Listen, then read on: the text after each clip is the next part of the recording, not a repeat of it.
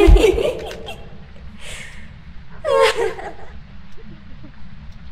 just had a heart attack. What the